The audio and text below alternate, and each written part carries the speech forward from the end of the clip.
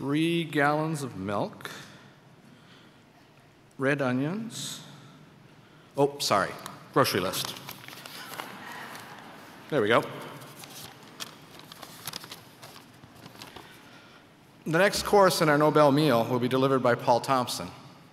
Currently the W.K. Kellogg Chair in Agricultural, Food, and Community Ethics at Michigan State University, Dr. Thompson earned a bachelor's degree, Bachelor of Arts degree in philosophy from, Emory University in 1974. In 1979, he completed a Master of Arts in Philosophy at State University of New York at Stony Brook. Continuing at that institution, he earned a doctorate in the philosophy of, philosophy of technology in 1980. Joining the faculty at Texas A&M University in 1981, he shared his efforts between the philosophy and agricultural economics department. In 1982, he was appointed the Texas A&M's Center for Science and Technology Policy and Ethics. During his tenure at Texas A&M, Dr. Thompson was the author, co-author, or editor of seven books, seven books, including Sacred Cows and Hot Potatoes, Agrarian Myths and Policy Realities, which received the American Agricultural Economics Association Award for professional, professional excellence in communication, the second time he had won that award. By now, you've probably noticed a pattern. In Paul Thompson, we have a speaker who expertly applies his philosophy experience to ethical problems related to food and agriculture. After assuming a dis distinguished professorship in philosophy at Purdue University in 1999, he continued that pattern when, when he became the director of Purdue's Center for Food Animal Productivity and Well-Being, stepping into the contentious and, shall we say, mucky issues of animal welfare and agriculture. Even while focused on that specific and challenging ethical issue, Paul also maintained his philosophical foundations. Paul was at Purdue, Paul was co-editor of the Agrarian Roots of Pragmatism, which explored oft-ignored connections between the philosophical, philosophical movement of pragmatism and agrarianism. During that same time period, he was also part of a group that produced a natural, National Research Council report entitled Environmental Effects of Transgenic Plants, the Scope and Adequacy of Regulation. The juxtaposition of those latter two publications exemplifies we have, why we have invited Paul Thompson to join us for this Making Food Good Nobel Conference. While firmly grounded in history, literature, and the intellectual traditions of philosophy and ethics, Dr. Thompson is also willing to focus those capacities on the thorny issues raised by biology, biotechnology and more recently nanotechnology. Each year, our Nobel Conference explicitly recognizes ethical arguments surrounding food and agriculture trying to help us reflect on ethical and spiritual issues connected with the chosen topic. Since our title this year, Making Food Good, very consciously recognizes ju value judgments, Paul's robust scholarship and thoughtful reflections about food and agricultural issues is a welcome complement to this conference. Our speakers have addressed issues from environmental preservation to food taste and quality and socioeconomic issues and international development, and all these have been the focus of Dr. Thompson's deliberate and reasoned ethical analysis. But despite knowing that our speakers bring a wealth of experience and achievement with them, we are often surprised by the extras that we didn't expect. Thoughtful, deliberative, intellectually thorough, and honest. We expected all of these when we invited Paul Thompson. But when a speaker preparing to address a large public audience submits the title, What is Good Food? An Argument with My Wife, we wonder if we've gotten more than we bargained for. Thoughtful, deliberative, thorough, and honest, but also daring and a bit edgy. I would note also that on his blog, he states a desire someday to open a restaurant with the title Fat Elvis given the focus on the fat part in this conference, there are a bunch of questions that come to mind.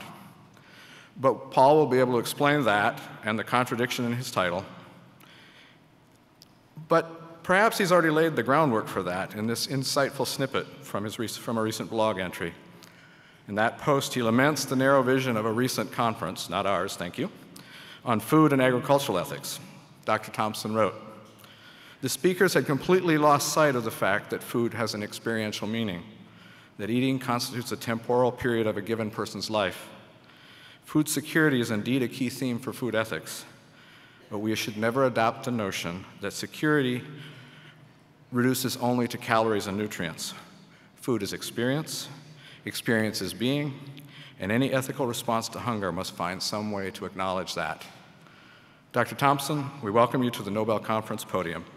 Thank you for sharing your experience with food.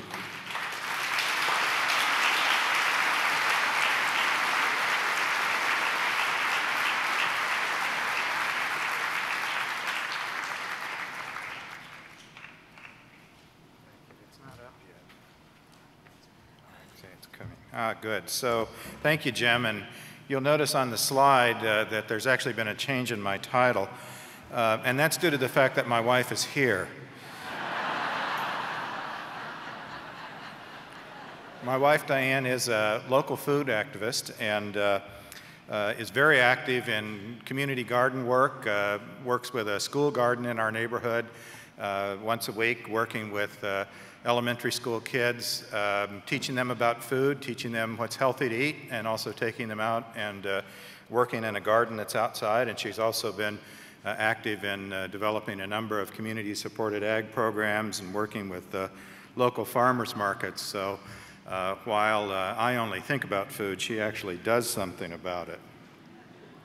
Um, some of you, uh, I'm very pleased to be here talking about ethics, but some of you may be wondering um, what a philosopher is and what a philosopher would have to say about ethics. And so, uh, in, order to give you some familiarity with that, I, I want you to just think of someone who really wanted to go into the ministry, wanted to be a pastor or a priest, uh, and wanted to do that so that they could tell everybody how they ought to live their lives, but just really couldn't bear the burden of being a moral example themselves.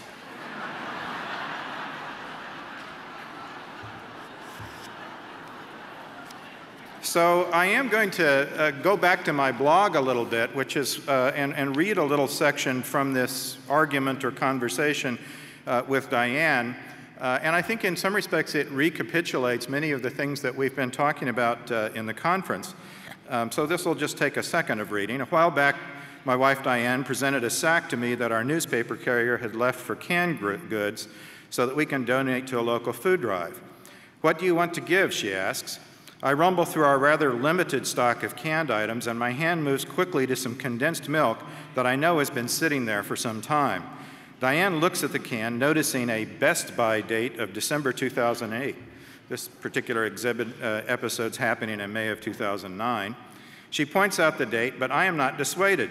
At this point, she berates me for thinking that I can dispose of outdated food items by pawning them off on needy people.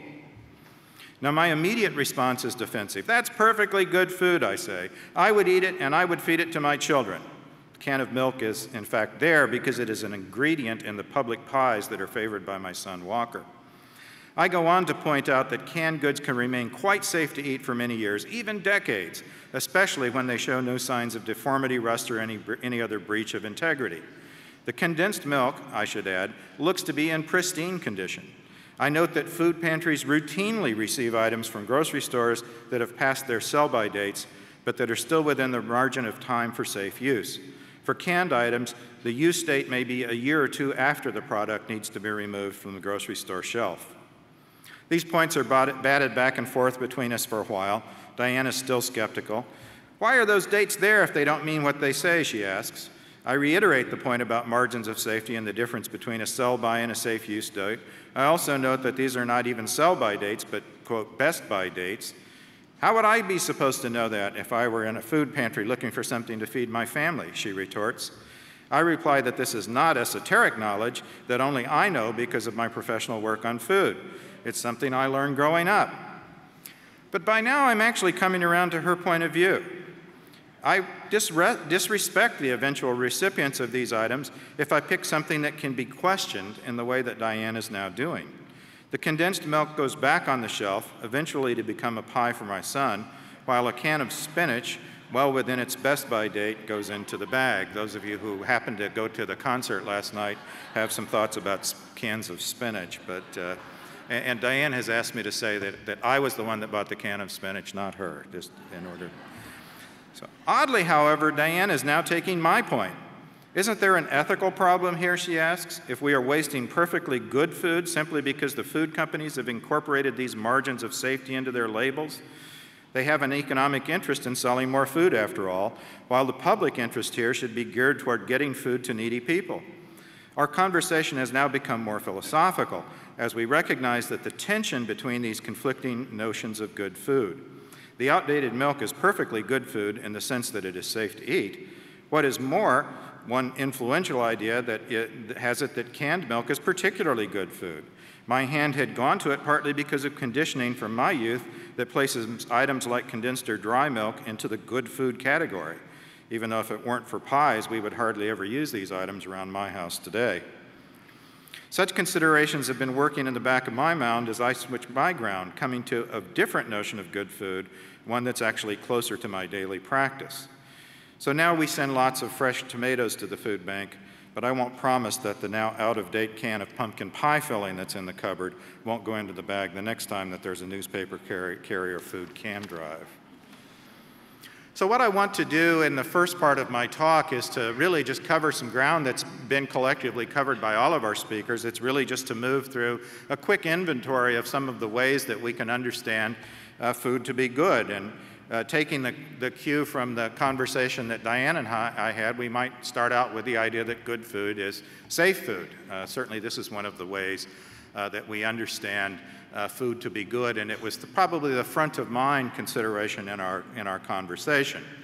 Uh, even here, though, it's possible to take uh, different points of view and to understand uh, what good food is in terms of safety in very different ways.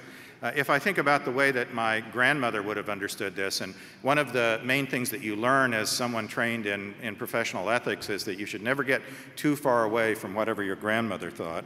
Uh, but, but it would have been that we would understand safety primarily in terms of the food being pure, it being fresh, and it being wholesome.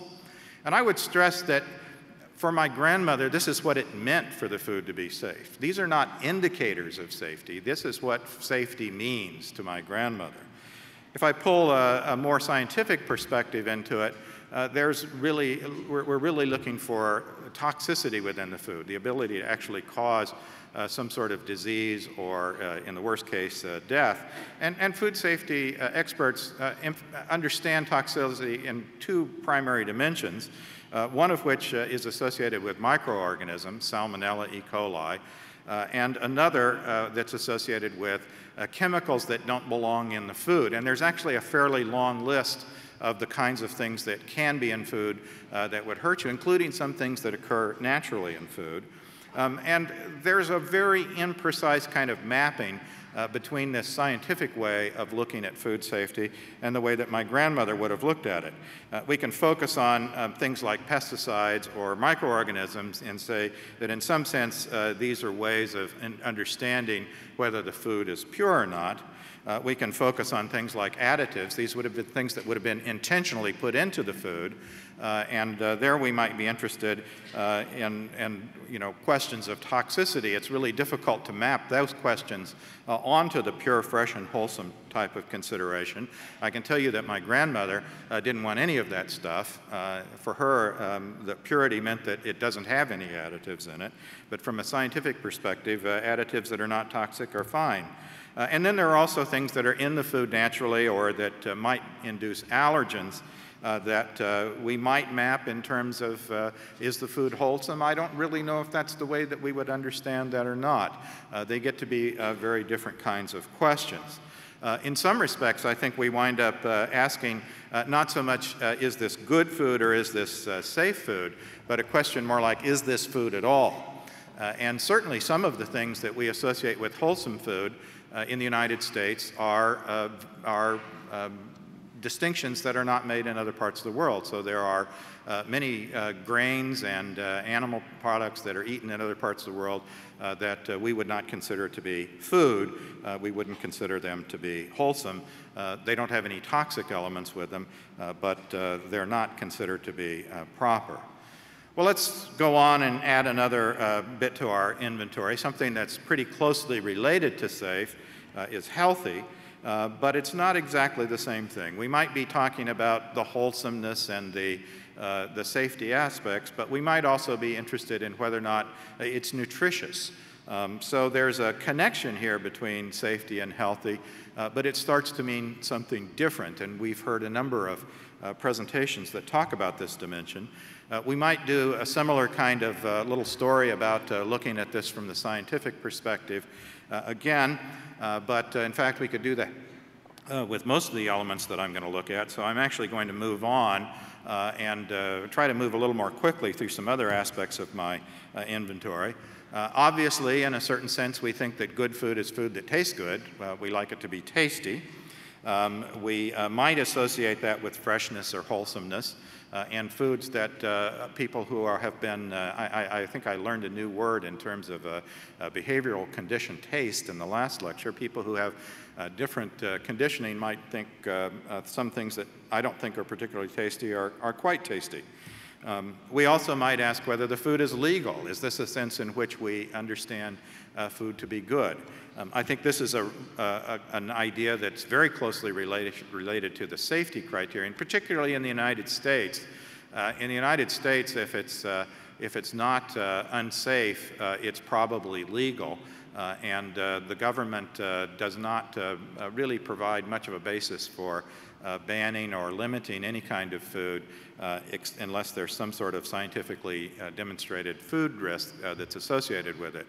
Um, some um, species that we don't consider uh, proper to eat, cats and dogs, I have to mention that, I'm sorry, um, uh, are not legal in the United States, but the, the limitations are, are, very, are very minor.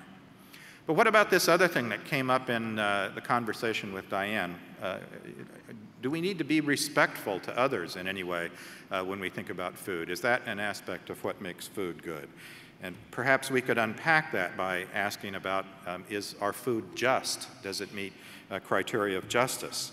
We might uh, unpack both of those notions in terms of asking whether or not uh, there's a certain element of uh, fairness in our food system. Uh, now, these are th notions that are related to one another respectfulness, fairness, justice.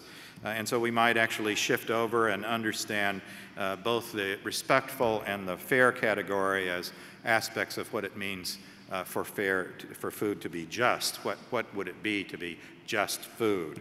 Uh, and uh, we might want to know whether or not it's legal. Legal might be a component of that. Um, uh, but in many respects, the key question is fair and respectful to whom? And here again, several things might come up. We might be interested in uh, being respectful to our friends and family, to our neighbors. Uh, we might be interested in being fair and respectful to the people that produce our food. Uh, and of course, we might be uh, interested in being fair and respectful to particularly needy people uh, who uh, don't have uh, access to either enough food or to proper food. So these kinds of questions come up. if we emphasize the friends and family and needy neighbors category, we might articulate this as uh, the need for a certain kind of hospitality. This may not be uh, the most familiar word to understand this, but this idea that we have uh, uh responsibilities to be generous, to be sharing, uh, these are the kinds of ideas that I want to uh, point out when we emphasize hospitality. And we might understand this to be also associated with what it means to be respectful with respect to food. and we can actually think of being respectful uh, in terms of uh, offering people food that we consider to be good in all of the other senses. Uh, so that we would be failing to be uh, properly hospitable if we offered food uh, to a guest or to a neighbor or to someone in need uh, that we wouldn't eat ourselves or that we didn't consider to be food that tasted good or that was proper food. Uh, and this uh, gets unpacked uh, fairly straightforwardly in terms of things like religious dietary rules, if your guest or the needy person uh, has particular uh, religious or value-based food needs, uh, it would be disrespectful not to uh, offer food to them uh, that was consistent with those needs. And of course, if you know that there are certain kinds of things uh, that some people just don't like, it would be inappropriate to offer those things as well. So what about the farmers and food workers circle? How do we understand uh, fairness in those categories?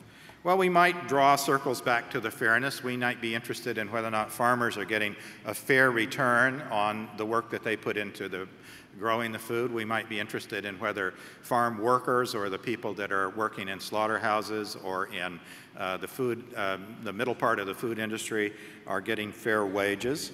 Um, we've also, I think, had a recent idea that we can address this through thinking about whether our food systems are local uh, so we start to unpack uh, this notion of fairness, uh, I think, in some interesting uh, different ways. Uh, and I haven't even mentioned environment yet. We haven't gotten into any of the ways in which environmental considerations go into whether our food is good or not. And here we might draw some lines to other aspects of the circle. is it meet environmental regulations? Is it safe? you know, are there connections to the idea of localness? that might have to do with uh, food miles, the idea that you're not moving your food quite so far. Uh, long stories here to tell all of these. Uh, and if we raise this question of fair and respectful to whom uh, in the environmental arena, we may wonder whether or not we should be asking question about uh, whether our food is uh, fair to the animals that we eat or that are responsible for producing the milk and eggs that we consume. So we start to get a very messy picture here, and uh, in fact, um, the picture becomes uh, even messier uh, when we start throwing a bunch of other issues into the uh, um, domain. Uh, and I think my first point uh, is just to call attention to something that the conference as a whole has called attention to, which is the sheer complexity of the ways in which food could be considered to be good. Uh, and I think I want to suggest that one of the things that we start to do when we ask questions about what would food ethics be, how would we understand uh, ethical responsibilities uh, with respect to this very messy picture, uh, is the first thing we want to do is we want to make sure all of these things are on the plate, so to speak. We want to make sure that we've served up uh, a portion for thinking about food ethics uh, that is sufficiently complex, that includes all of these dimensions, uh, and that we're not narrowing in uh, too closely on just one of these, uh, these pictures. Uh, now, at this point, I'm supposed to tell you uh, what food ethics is and how we should proceed, and unfortunately, I just can't do that. I don't know myself. Um, I think one of another prerequisite, in addition to learning from your grandmother, to being a philosopher, is that it helps to be really confused about things. Um, in some respects, I think uh, uh, people who are food activists uh, have a very rich and robust sense of food ethics, and they uh, have a very strong sense of what's right. Uh, and I respect that, and I learn from it intensely. But as a philosopher, sometimes it helps to be confused. Uh, it helps to, to, to, ponder that question of how we could pull all of these things together and get them on the plate at one time. So what I'm going to do in the balance of my talk is to go back to some thinking I've done, not so much on food broadly, but on agriculture. Agriculture is connected to food. I think that's one of the lessons we've learned here already. Uh, and uh, suggest that uh, there are uh, two broad ways of organizing our way of thinking uh, about uh, food ethics questions that can be derived from two very different ways of understanding uh, agriculture. I call this the philosophy of agriculture. I think I'm the only person in the United States who does the philosophy of agriculture.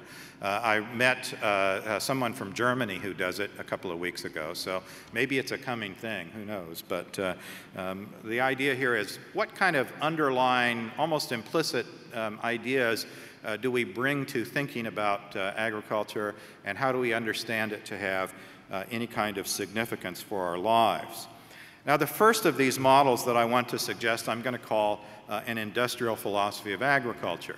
Now, I want you to listen here because um, there would be a tendency to jump to a conclusion, and I'm not talking about industrial agriculture. I'm not talking about a particular way of doing agriculture or a particular form of agriculture. I'm not talking about big farms or heavily mechanized farms. I'm talking about a way of thinking about agriculture. And the basic idea behind what I'm calling an industrial philosophy of agriculture is that agriculture is just another sector of an industrial economy. It's just like the energy sector. It's just like the healthcare sector. It's just like auto manufacturing, or for that matter, it's just like the entertainment sector. And what we want to do when we ask and answer questions about the ethics of agriculture, what's fair and just with respect to agriculture, is that we should approach it in the same way that we approach those other sectors of, of the economy. And to give a fairly uh, simple statement of what that may be, we really have uh, two key ideas. Uh, we want every sector of our economy to be efficient. We want it to produce the goods that we want to consume, whether those goods are television shows and movies, or gasoline, or diesel fuel, or healthcare.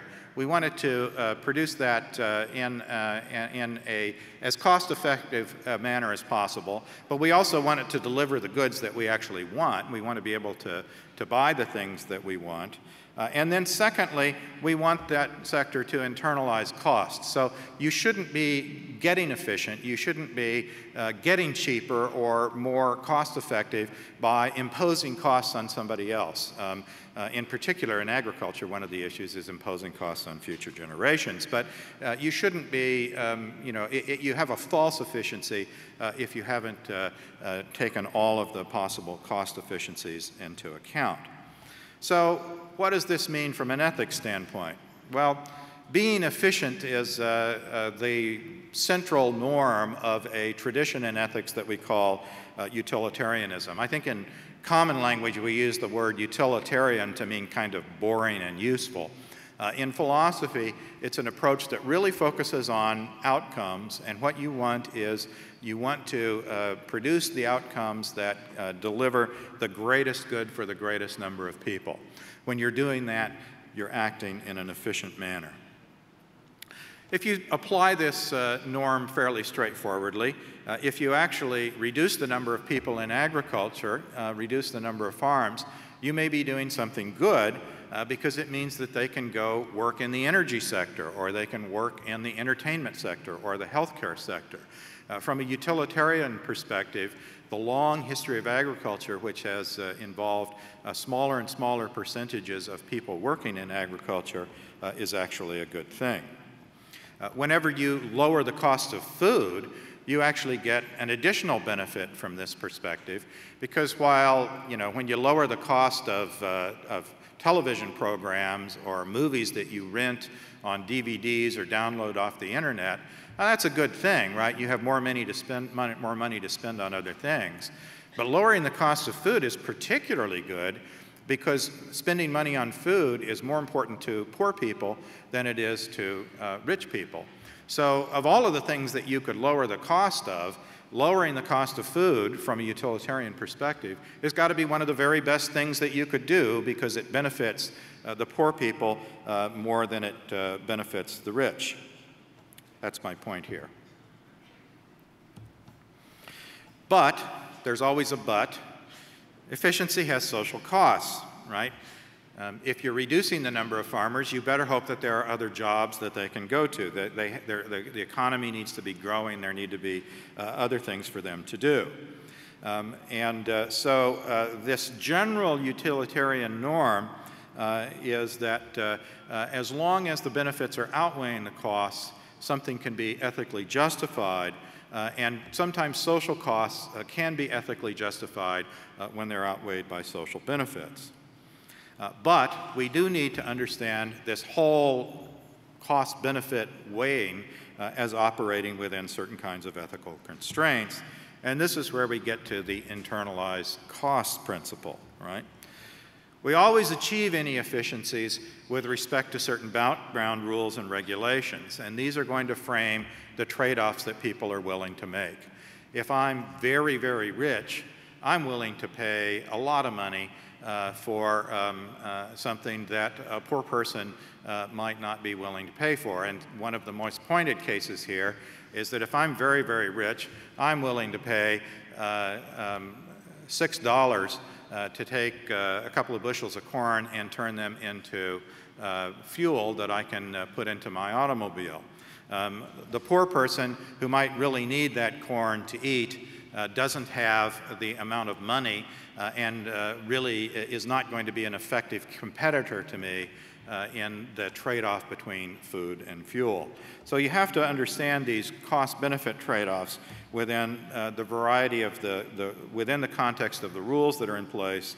These include secure property rights, they include certain personal protections from harm and threat, and they also include uh, protection of basic liberties, and these would include things like free speech, assembly, and liberty of conscience.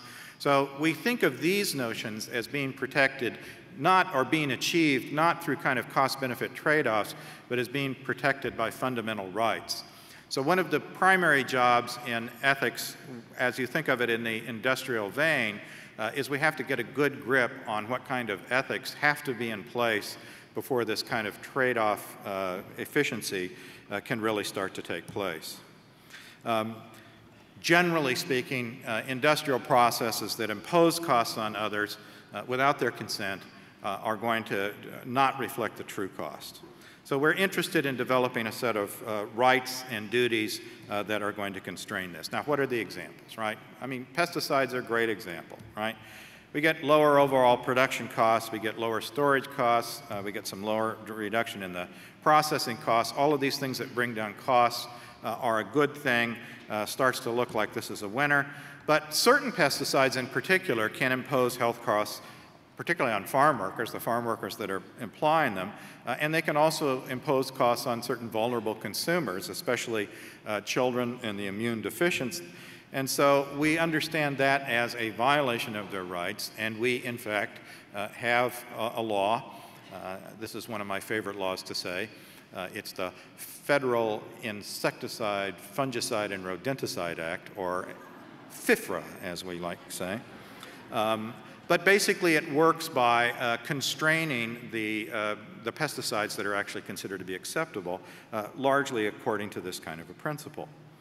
So lower costs to due, chemical, due to chemical pesticides are not considered to offset uh, the damages that they do because these damages are especially important morally.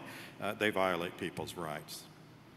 Now I want to come back and emphasize the point that what I've been talking about is a framework for thinking about agriculture. It's a philosophy of agriculture. It's not a rationalization or justification for conventional agriculture uh, as it's currently practiced. And in fact, I would actually suggest that this framework provides a sketch of some of the work that really needs to be done within food ethics. It actually provides a way uh, for thinking critically uh, about agriculture. Now, if I come back to my picture of all of the various goods out there, we can just pick this uh, uh safety sector uh, circle uh, as a good place to start. And we might want to say that the reason we have food safety laws uh, is that we don't want to uh, increase efficiencies within agricultural production by um, producing unsafe foods. Uh, one of the basic uh, rights that has to be protected uh, is the right uh, to eat safe food.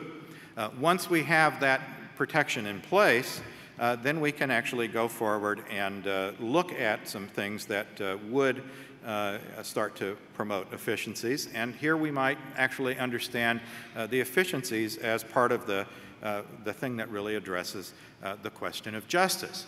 you may be scratching your head. How does that happen? Uh, well, if uh, people would um, only pay more uh, in order to assure, to people pay more in order to assure that their food tastes good, if they would only pay more uh, in order to assure that uh, we had foods coming from local farm economies, if they would pay more in order to sure, ensure that we had uh, a just wage going to farmers and wage workers, uh, then we could actually uh, incorporate our notions of justice into this notion of efficiency. It becomes just a notion of saying, give the people what they want. Uh, the ethical burden here falls on us as consumers to demand uh, an agriculture uh, that meets uh, these kinds of uh, criteria. Uh, and indeed, this is sometimes the way that it's talked about. Another way to look at this is to say, well, I don't like this idea of ethics just coming down to being something like, is food tasty, right? Uh, whether or not uh, you're fair to farm workers and uh, others is, uh, is morally significant in a different way, and we need to make justice more central. and in particular, we might need to be making justice more central with respect to those people that don't get enough food. and in this way of thinking, we might want to add a third principle, uh, which is that there are certain basic rights, uh, that uh, basic needs that have to be satisfied by right. So people would have a right to food. Uh, being talked about a right to food in India, uh, something that's guaranteed as a principle of public policy. Uh, and here we actually have a, a, somewhat of a tension between the idea that we satisfy the needs of justice through our efficient operation of uh, of markets on the one hand, and our uh, idea that we should uh, really single out certain needs that people have uh, and protect those in much the same way that we protect rights like freedom of speech or not harming people through producing um, unsafe foods. Um, it's probably worth noticing uh, that this picture of the way that we understand competing ethical visions is actually pretty familiar. This is uh, very much the kind of debate that we're having over healthcare today. Uh, it's a debate that we have had uh, with respect to uh, other aspects of the industrial economy. Uh, and that's part of the reason that I call this an industrial philosophy of agriculture. We reproduce a tension between uh, addressing important ethical questions through um, market mechanisms and notions of efficiency uh, as opposed to notions of rights. Uh, and we often find ourselves uh, divided politically uh, in terms of people who tend to see uh, these, ethical, these ethical conflicts in one way rather than another. So we can come back to this industrial philosophy and move through a lot of questions about agriculture and see them uh, actually being quite meaningfully debated uh, through this, the lens of this industrial philosophy. Um, have existing agricultural production systems lived up to these norms and ideals of an industrial philosophy? Uh, we might be interested in whether or not the poor have really benefited uh, for systems of, uh, from efficiencies or whether or not we need some sort of an additional legal mechanism, some sort of policy mechanism uh, that would respect their, their, their rights. And if we're interested in poor people today, what about future generations? We are expending uh, soil and water resources today uh, that future generations might need. Uh, if we're going to be concerned about the rights of poor people today, what about uh, people who are going to live in the future? Uh, it also provides a way to ask very different kinds of uh, new ethical questions. and many people are asking this question, should we think about animals? Uh, as having rights? Uh, should we extend moral consideration uh, to farm animals when we think about where it's appropriate to impose costs or not? Is it even useful to think of biodiversity, uh, given Cary Fowler's talk on biodiversity, is it useful to think about uh, biodiversity and ecosystems uh, as having a kind of intrinsic value that needs to be shielded from some of these efficiency-seeking mechanisms? Now, I think these are all uh, very meaningful and important questions, and I actually spend a fair of my time uh, in terms of my own research and writing and in terms of my teaching on ethics and agriculture, diving into the details of these questions. Uh, but what I want to do today is to actually uh, close off this part, this discussion of what I'm calling an industrial philosophy of agriculture, uh, and to move on. Oops, I had one more set of, uh, of questions. Uh, this is just repeating that they're industrial questions. I want to really move on to a, a second set of philosophies of agriculture. Uh, before I do that, I'll emphasize this point that many of the criticisms that are made of agriculture, that it doesn't meet the needs of the hungry, that it doesn't address the uh, needs of animals, that it doesn't address needs of future generations. Uh, these are all questions that are perfectly compatible with an industrial philosophy of agriculture uh, and that in many respects the industrial philosophy that agriculture is just like any other sector of an industrial economy. It needs to live up to what we expect out of an industrial economy uh, is actually a very good philosophical way to frame those questions. But it's not the only way to think about agriculture. And what I want to stress here for the next few minutes uh, is that there historically have been very different ways uh, to think about agriculture. Uh, and I want to do this by telling some stories. In agrarian philosophies of agriculture, farming and foodways uh, really are understood to draw upon uh, place, upon things that are regionally significant. Uh, they um, play an important role in fixing the character and the moral identity uh, of the people that live at that place. And in this framework, agriculture is not understood as just another sector of the industrial economy. Uh, food and farming really uh, demand a very different type of moral conversation, one that uh, uh, is not so much focused on uh, the, the, notions of choosing our values in a particular fashion. So let me, um, let me tell two stories. Um, one of them is a story about ancient Greece, and the other is a, a story about the history of the United States. And as I tell these stories, I want to admit that the story I'm going to tell you is not strictly true, okay? Um, but um, it's a good story. We'll start with ancient Greece. Xenophon and Aristotle, two uh, philosophers of ancient Greece. Uh, Xenophon uh, wrote probably the first book of uh, the philosophy of agriculture. It was a book that he titled Economics, uh, but uh, what it is about is about uh, how you should farm and why farming uh, is important for the structure of society. And Aristotle echoed much of this in his philosophy, especially in the book uh, that he entitled Politics. we can get a sense of this story by actually looking at Greece and comparing it to Egypt. The agricultural system in Egypt was one of the most successful agricultural systems of all times. It survived for 7,000 years. Uh, and uh, it basically worked because the, this is modern Egypt, but in the old days there wasn't a dam uh, right there where it says uh, Aswan. Uh, and uh, the Nile would flood every year, and the floodwaters of the Nile would come down and flood all of that green area on the map. And the Egyptians became quite adept at both trapping and capturing uh, some of that uh, floodwater using systems that look very much like some of those that uh, Bina showed in her slide, uh, and then also um, taking advantage of the flush of nutrients or fertilizers uh, that came down uh, with the Nile at the same time. Now, in order to make that agricultural system work, it had to be centrally managed, it had to be centrally planned, and you had, it, it took massive armies of slaves uh, to uh, keep the water managed in the right way. It took a priesthood uh, to essentially tell the slaves what to do uh, and to monitor when things needed to be done. Uh, but it was essentially a very top down system uh, with only a few people at the very top who had any understanding of how this system worked or, or, or, how it functioned or what needed to be done at a particular time and place in order to make it work.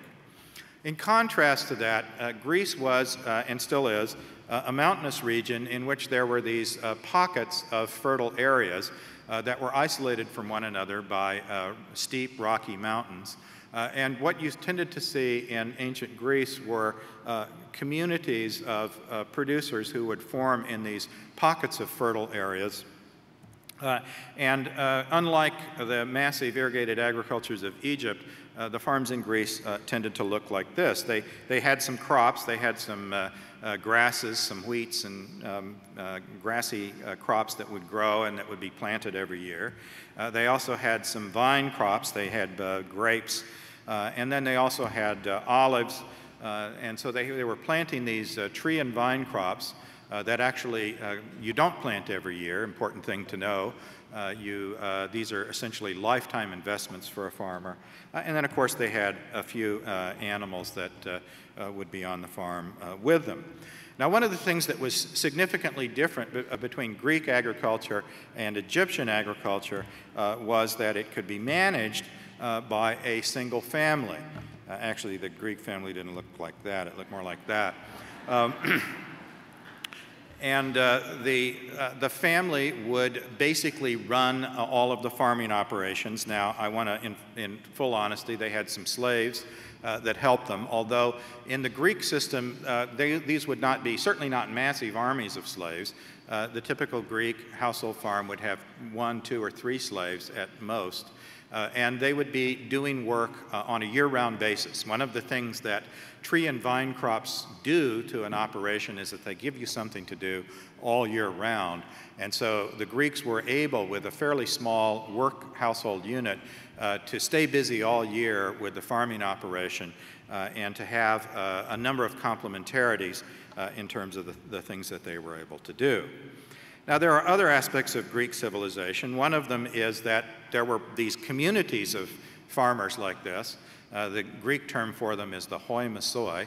Uh, the hoi polloi are the really rich people who live in the city, and the hoi mesoi are the sort of uh, working class, salt of the earth people, but they're citizens, and they, the, they at least the, the male household head was a citizen, and he would go into the uh, city-state, uh, the uh, community nearest to his farm, uh, and would be participating in various kinds of uh, community decision-making. Some of these were kingdoms, and some of them were democracies, but in all cases, the head of the household was very involved in um, the politics of the state, and the politics of the state were often very much focused on the possibility that they were going to get invaded by somebody else right? Uh, so uh, if you're a farmer and you have uh, your grain crop and somebody invades you, they burn it down or they cut it up, and it's tough for a year, but then you go out and plant it again next year and things get better.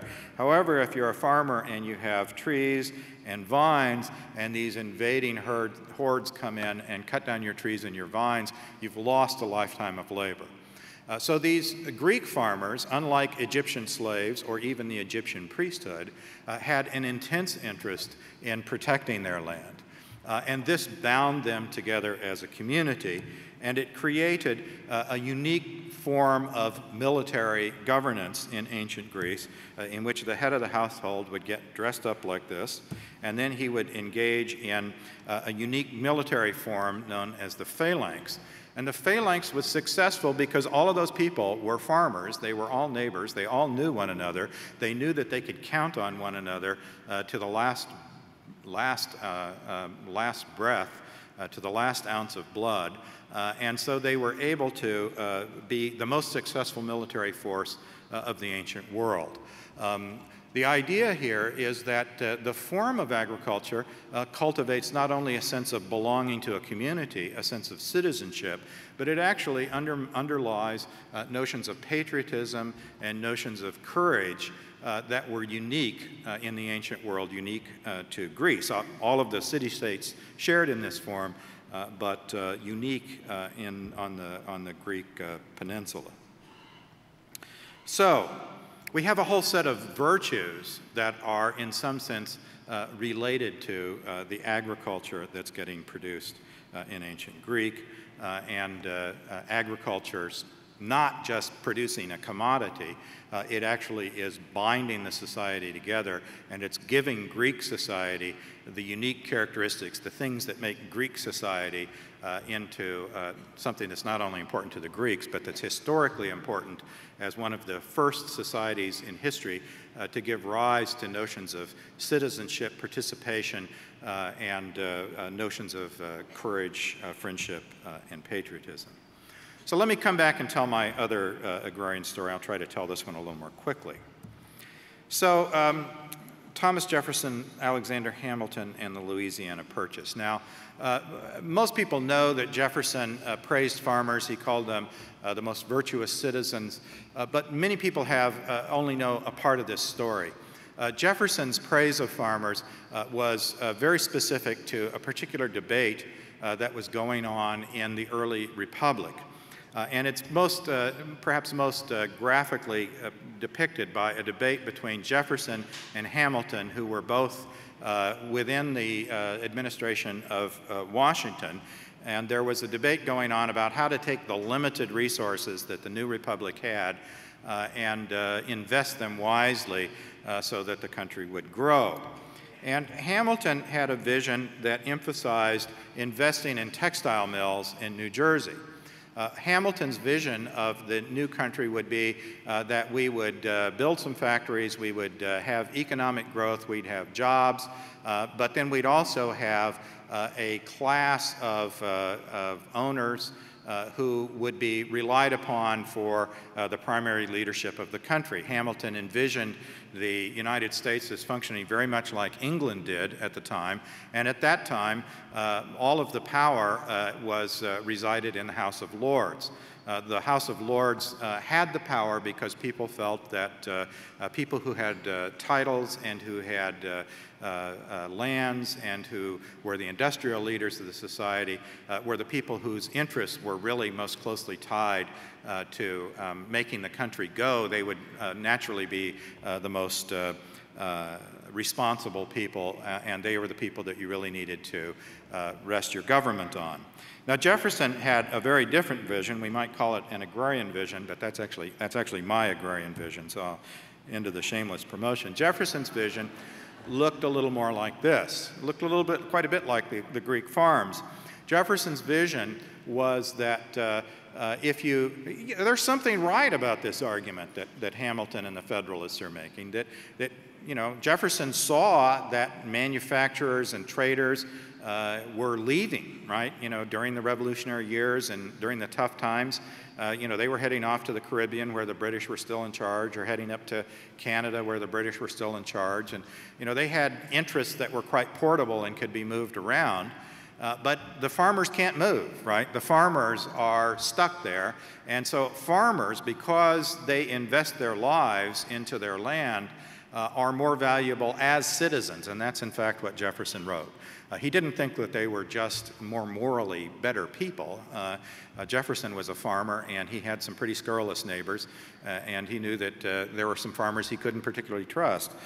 but nonetheless, they had to stick it out and they had to function as citizens. And I actually want to read one brief quote from, from Jefferson that um, articulates this. Um, first, this is not Jefferson, but the mob rule that had been feared by Hamilton and linked with the French reign of terror was associated with urban industrial workers who not only were vulnerable to the vicissitudes of economic boom and bust, but also constituted a ready source of street protests and violent uprisings when employment was short. Jefferson argued that it was better to keep the working classes employed on the farm, where their labors would at least ensure them something to eat, and where there would be less opportunity for spontaneous rioting. He made this argument initially in his book, Notes on the State of Virginia, uh, where he wrote, and here is the quote It is better to carry provisions and materials to workmen in Europe than to bring them to the, than to, bring them to the provisions and materials, and with them their manners and principles. The mobs of great cities add just so much to the support of pure government as do sores to the strength of the human body. It is the manners and spirit of a people which preserve a republic in vigor. A degeneracy in these is a canker which soon eats to the heart of its laws and customs. Now, what's going on here from an ethics standpoint? I want to just suggest at this point that we actually have a philosophical approach that works quite differently from the logic of making choices and protecting choices with rights and achieving efficiencies uh, that we come to associate with debates over uh, intellectual, over uh, industrial politics. Uh, what we have here is an ethics that doesn't focus so much on the choices that people make, but on the character that they develop. It's an ethics of habits. What you do is you, it's, it's not so much an, an ethic of thinking, I've got to be a better person. It's an ethic of thinking, how can we arrange things so that people will naturally be better people? Uh, it's an ethic that is somewhat indirect. It's not an ethic of conscience, oh, I've got to be better, I've got to, I've got to make good choices, right? Uh, it's an ethic of creating the environment in which uh, the habits and character, philosophers would say the virtues that we want to encourage uh, in a people uh, come to the surface, come to arise naturally. It's, and this is done uh, through uh, the most basic material uh, aspects of your society, through the way that you uh, produce yourselves and reproduce your people in the case of both ancient Greece and early America in terms of the agriculture. What's happening in this is that you're producing a certain moral identity. You're producing characteristic habits, dispositions, and tastes uh, this is being done through material practices that reproduce certain customs and habits and it emphasizes traditions and recurring reciprocities. It's important that you're doing this with a set of neighbors, as in ancient Greece, Greek society. It's important that you know all of those other people who are there in the phalanx with you, that they're all uh, people that uh, you trust intimately uh, and that you will continue to interact with throughout your lifetime. Uh, and what uh, gets emphasized in this kind of an ethic, uh, rather than notions of choice, notions of rights, notions of efficient outcomes, are notions like moral character and community. So this kind of summarizes some of the ideas behind an agrarian ethic, that uh, uh, what you're producing is uh, a notion of community identity. it's often circa, circa it's often tied to a particular place, uh, and it's something that is uh, embodied often in the traditions of a people. Um, I've got a couple of slides, and I'm running a little long, so I'm going to move right on. Um, is any of this relevant to us today? Right? I mean, we're not fighting the invading hordes in phalanxes, uh, and uh, we're long past the idea uh, where we could count on um, citizenship uh, because most of our citizens are farmers. Uh, here's a couple of uh, attempts to rehabilitate an ethic, agrarian ethic. One of them uh, is uh, due to the work of an um, anthropologist named Walter Goldschmidt, who studied two farming communities in California in the late 1940s. Uh, and he noticed that the farming community that was surrounded by a relatively few large farms had um, much weaker social institutions and much weaker sense of uh, community identity, and subsequently much lower quality of life, despite the fact that the farmers were much better off than did another farming community that was surrounded by uh, smaller, uh, more medium-sized uh, uh, farms. Uh, so this has given rise to a theme uh, that is, continues to be debated, I think, in rural communities, and I think is at the heart of the small farm, large farm debate. It's not that large farms are inherently worse or, in, or that you get sort of, you know, evil people out of large farms, but the idea is that uh, uh, these communities that are surrounded by a number of smaller farms uh, have more community coherence and people are much more invested in one another on uh, an egalitarian basis. Um, this, I think, will continue to be a debate uh, that's important in rural America, but increasingly, larger and larger sections of our country uh, have very little contact with rural America. So I think even this agrarian vision, uh, as important as it may be, even in communities like St. Peter, uh, may be less important to people who are living in major metropolitan areas. And here I'd call attention to the work of uh, Tom Lyson, who wrote this very nice book, uh, Civic Agriculture, and Tom's suggestion was that uh, by emphasizing food practices, by emphasizing eating together, by coming to understand where our food comes from, uh, we can perhaps recapture uh, some of this sense of community identity and community spirit uh, that uh, can have a meaning even for people who live in, in cities. Uh, in a certain sense, the agrarian stories that I tell may be more important as stories. They may be more important as uh, ways in which we can understand the sense in which we might uh, be bound together in a community and depend on one another uh, than actually replicating an agricultural structure uh, that look, looks like this. Uh, the, the, civic agriculture vision has to do with who we are, how we understand ourselves as a we. So I'm going to wrap up here quickly, and I, I have to uh, uh, offer a really quick uh, disclaimer. Um, you know, there are these agrarian stories, part of the part I didn't tell is there are slaves in both of these stories, right? Uh, and in, uh, particularly in Xenophon's uh, philosophy of agriculture, women are, Xenophon has terrible things to say about women. I mean, you know, he clearly didn't think that they were smart enough to run a farm. And uh, Xenophon's agrarian story, uh, to the extent that it gets taken too seriously, becomes a source uh, for continuing to uh, disvalue and even repress uh, women. So uh, I don't want for a second to be understood as suggesting that we need to go back to some kind of agrarian vision of the past.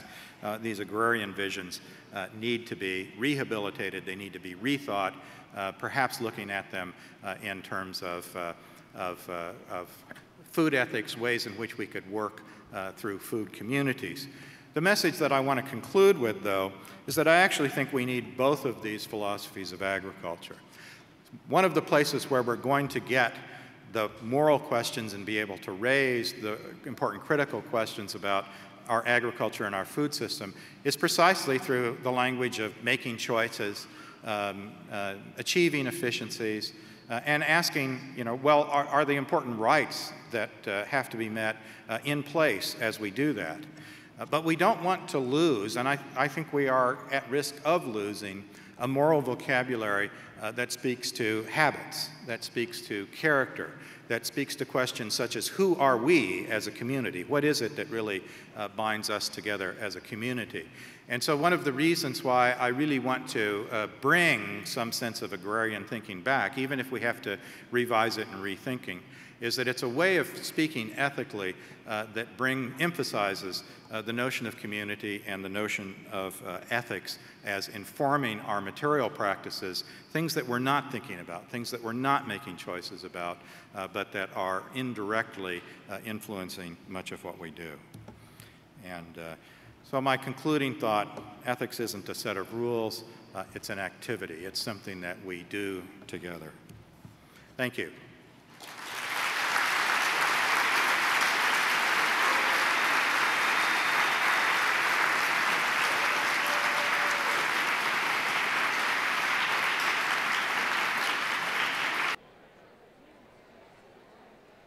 Shall we, shall we begin?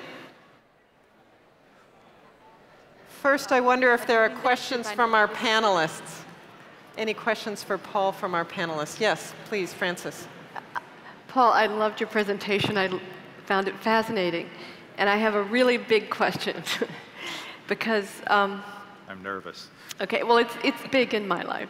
So here's the thought Do you see and forgive me if I missed it, but it seems as if there is a prior sort of foundational um, issue, ethical issue, which is who is enabled to participate in weighing any of these profound choices, and how are we enabled or shut out of that discussion, yes. choosing between visions or all of those dozens of right. issues you raised. And that's kind of underneath it all to me. Well, I actually think that one of the things that can be said for what I call the industrial vision is that it, it, it, it's asking those questions about rights are ways to raise those questions about participation.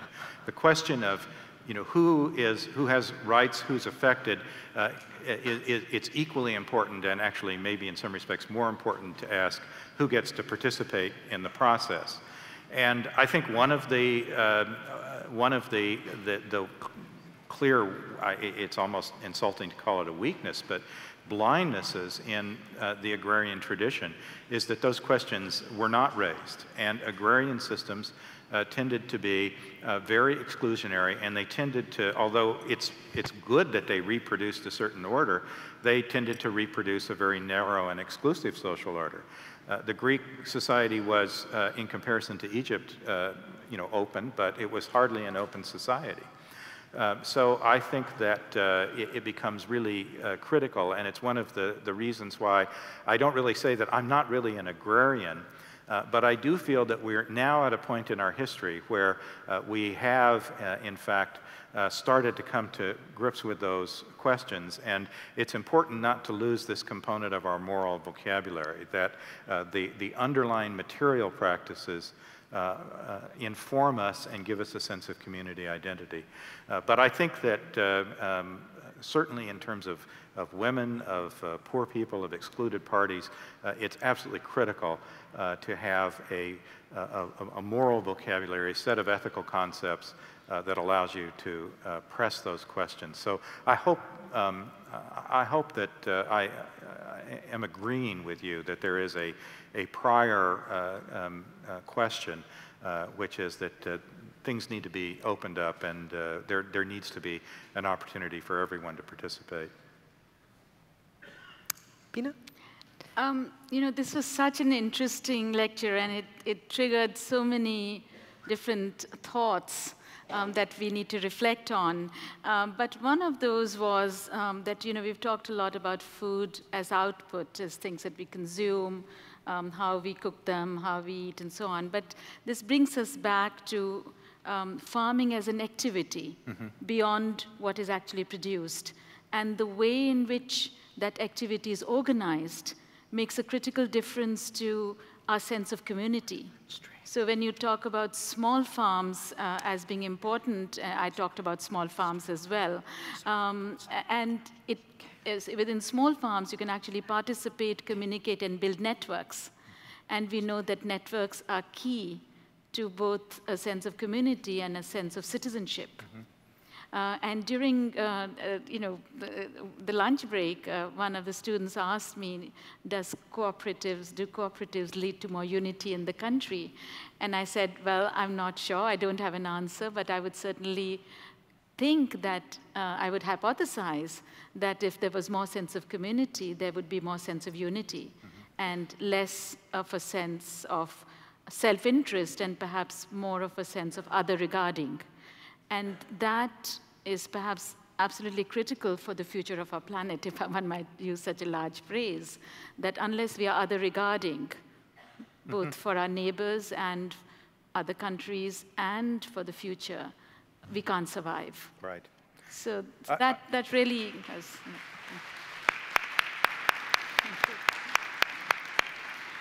Well, thank you. That's uh, certainly uh, the, very much the kind of uh, point that I want to make and that I wanted to emphasize. And I think in some respects the, the question that we face, and I, hear this, I think this is an open question, I don't think any of us uh, have the answer. We, we have these models where we understand farming is an activity uh, that builds community and that, uh, uh, that uh, creates a sense of unity and moral identity. can we actually imagine food practices? Can we imagine ways of cooking, eating, sharing food mm. in, in ways that would also be understood as activities, right? So it's not just the, the, the what it tastes like. It's not just is it healthy. Uh, it's not these kinds of uh, endpoints that clearly those are all important and they're important. Um, uh, we, we, I don't want to say that they're less important, but we need not to lose sight of the fact that when we cook, when we prepare food, when we obtain food, whether it's shopping or uh, picking up a share from the CSA, we're doing something. And this activity is the very stuff of what our lives consists in. Yes. Uh, what we are is what we do. And if we can do that in ways uh, that uh, uh, pull us together, give us a sense of, uh, of being a people, uh, that, uh, or at least understand that that is one of the dimensions of a food system, I think we'll have a much richer and hopefully more fruitful conversation about yes. food. Yes, definitely. I'll turn to some questions now from the audience. and there are so many, and I'm sort of paralyzed because they're so interesting. But let's see. To what extent um, do the agrarian and industrial philosophies of agriculture contribute to the practice or philosophy of war making? Ah, that's a good one. Um, I can certainly tell you that uh, uh, war making has contributed to uh, the success of industrial agriculture. Um, and uh, it, it's a very interesting story.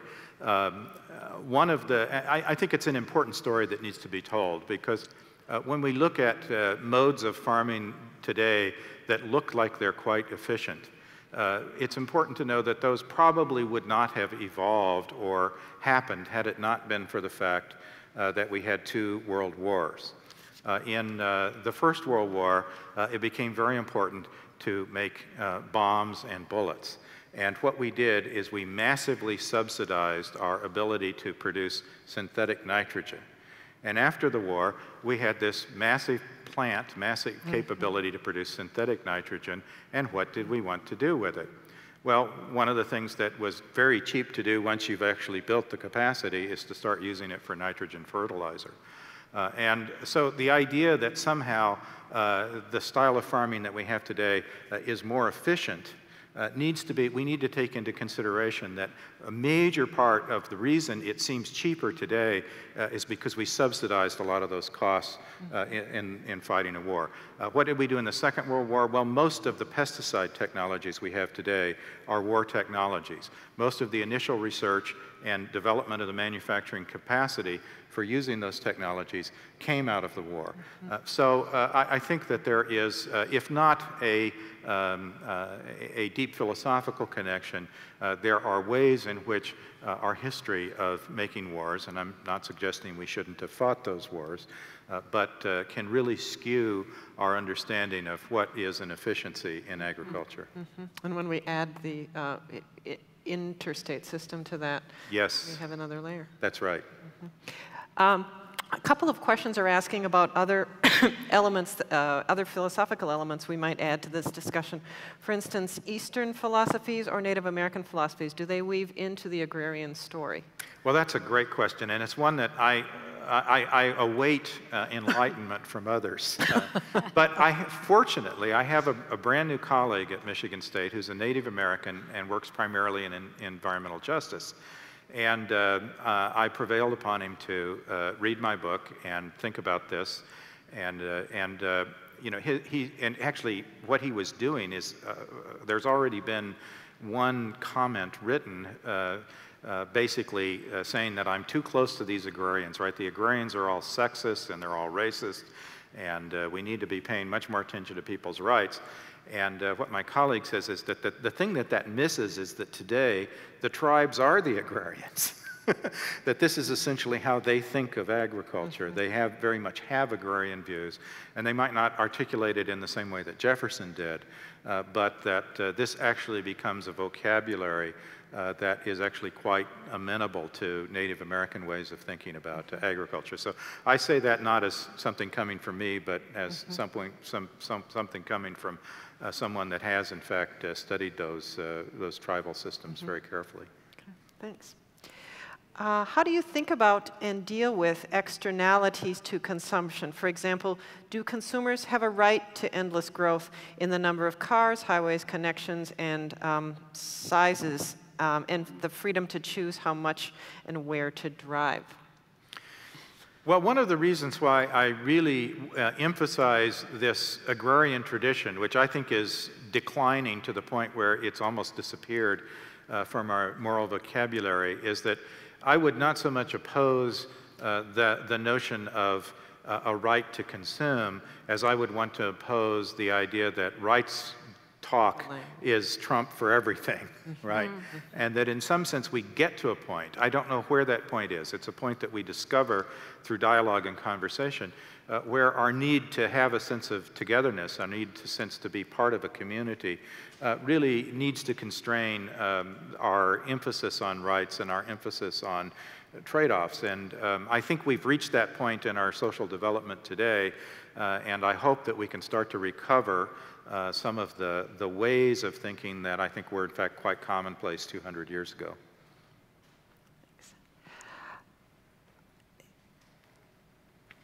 Would you, here's a question from a different um, sphere of thought. Would you care to comment on the ethics of food and communion, the ethics of agriculture and the theology of Jesus as the first fruits of God's new creation, or um, this is a quotation from Revelation, or of those who have been slain who cry out from under the altar for justice. So, can you make any connections between these spheres? Well, I think that, and one of the things that's in my book is a, a, a chapter on food and community where uh, I talk about the way that uh, uh, we might understand uh, this notion of uh, you are what you eat as uh, a source of community when, in fact, we eat the same thing.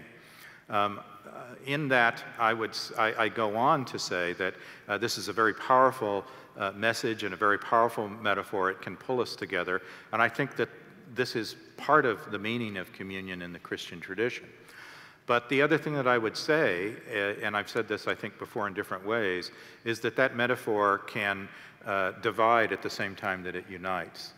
Uh, and that one of the reasons why I, I, I, love it as a metaphor, uh, but don't love it as literal truth, uh, is that it, uh, you, you reach a point where if you're not uh, part of a particular spiritual tradition, uh, you're automatically excluded from the, from the community. I don't think that's uh, consistent with uh, Jesus' message or with the spirit of Christianity. Mm-hmm. Thanks. Uh, let's see, a question about energy that just disappeared the way energy always does when you're looking for it, right? Um, I was surprised that you did not include energy in your group of relevant circles, yeah. namely three units of energy to produce one human unit of energy for eggs, let alone meat. Um, so would you care to comment on what kind of a circle energy would be? Yeah, it's a good place. It could be another uh, circle. Uh, it could be, and I don't, I don't mean to suggest that the circles I got up there uh, would be a complete inventory. Um, I, I, think that uh, the energy question uh, is an absolutely critical question, and we, it's, it's, we've hit it a couple of times in a couple of the talks. Uh, it's a question uh, that uh, uh, I think, again, needs to be addressed squarely from an industrial perspective. In many respects, uh, questions about the efficient use of energy and questions about whose rights are affected when we uh, compute efficiencies for energy are absolutely critical moral questions and uh, the, the, the, tools of the agrarian, of the industrial philosophy sharpen those questions in a really important way. It's another reason why I'm not an agrarian. At the same time, uh, I think that uh, it's important uh, not to lose sight of the fact that uh, to think a little bit about how uh, ways of configuring energy use uh, might be important in a community sense. And in a, in a paper that's not included in the book, I've actually made the comment on biofuels that while I can understand how we might uh, understand food as a basis for community, uh, it's difficult for me to imagine pulling up to the gas pump as a basis for community. It just doesn't really kind of resonate for me that way, but maybe that's my problem. Well, when you go in for the coffee, though. a number of questions ask um, about how we can participate in, I guess, being connected to this agrarian philosophy, and let me just give you kind of a pastiche of them. Uh, given that the American brand of life is characterized by great separation. I didn't mean pastiche, I meant something more like deep and rich melange. Um, between American people and the consequences of their lives, how does that separation create challenges for pursuing ethical and good food policies? Um, a question, how do urbanites support an ethic of agriculture shy of becoming farmers? Um, how do we view um, the cost of things like clean air, clean water, and so on, not as costs that farmers need to internalize, but as benefits that we all need to pay for. So can you speak to the matter of how do we participate? So uh, these are great questions, and, and um, I think that we, we, need to we need to be talking about these things. I mean, uh, what I envision um, ethics as, I, I close with the idea that this is an activity. It's a conversation, it's an argument. Um, but uh, it is an activity that we engage in and that we learn from one another uh, when we engage in it. Some of these questions, and I think uh, you know some of those that right at the end uh, are, are, great questions that uh, an industrial vision where we're focusing on making choices, we're focusing on whose rights are affected, uh, and we're focusing on our efficiencies. They bring those questions right into focus, and that's the way that we need to go. Uh, but other questions, these questions about what kind of people would we really like to be, right? Um, not what are my tastes and preferences today, but what kind of person would I really like to be? What would I like my children to be like? What would I like uh, uh, the society look, to look like seven generations from now? These are questions that uh, an agrarian mode of thinking, uh, a mode of thinking that's much more focused on our habits and our character, are much more capable of articulating. So part of my message is that uh, I do think that as a society, uh, we have uh, tended to push that mode of thinking and that mode of talking uh, out. It's, it's, it's no longer considered to be fair to even talk uh, in a language of virtues. You almost get laughed out of the room if you start talking about virtues, right? Um, and we need to bring that back. We need to make that part of the conversation uh, and that needs to be an okay thing to talk about, and we need to be engaging in that aspect of our, our moral lives as well. Thanks. One last question. You began with an inventory of good food. Are the marks of good food the same for an industrial philosophy and the agrarian options to it, or are they different? Yeah, that's a good question, and it's central. And I think that uh, uh, they are different. I think that, that, that in many respects, uh, what is good food in an agrarian model uh, is food that, uh, uh, without so much thinking about it, without making choices, without debating uh, things, brings us into a spirit of togetherness, brings us together with one another, and creates a set of habits that are respectful of the environment, are respectful of other people, are respectful of, of animals. I'm thinking about eating foods that are in season, for example, as one of the kinds of habits that can do that. Uh, and uh, uh, I think that you do get, um, perhaps all of the circles are there for either philosophy, but I think they resonate in different ways. Mm -hmm. Okay, thanks. Well, thank you all, and I remind you that 7.30-ish tonight, um, Frances Moore Lappé will be speaking in uh, that building right over there, and you can hear her in the Heritage Room in Overflow if you are not attending the banquet. Thanks so much. We'll see you there.